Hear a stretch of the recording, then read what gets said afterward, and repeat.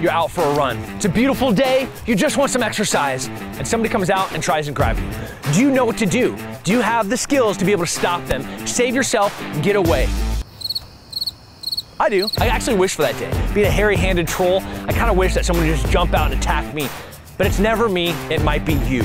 You're the one that has to have the tools and the training to be able to save your own life. Get it here.